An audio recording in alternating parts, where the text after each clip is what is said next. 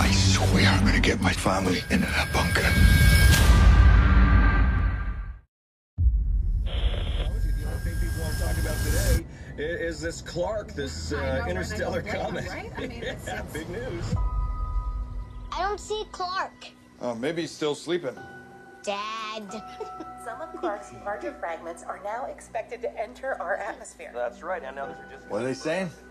More of the I same.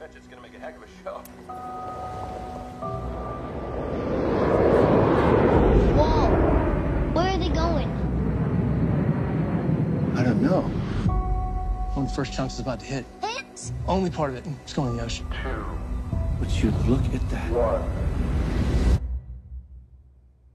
Wait, where's the explosion?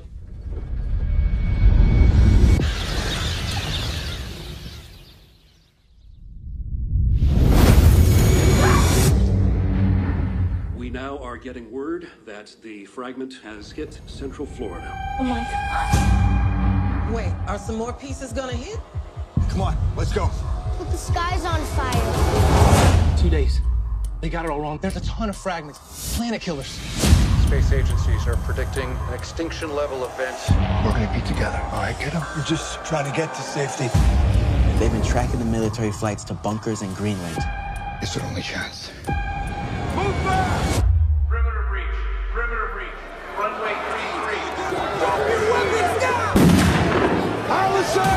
Nathan!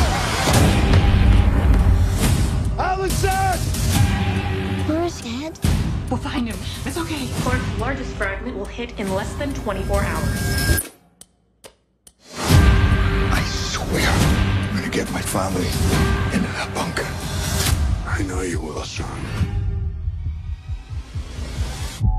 If you are hearing this broadcast, seek shelter immediately. What is it? What's going on? are carrying this bomb. Oh, John, go! Hang on, Nathan! Seek shelter immediately.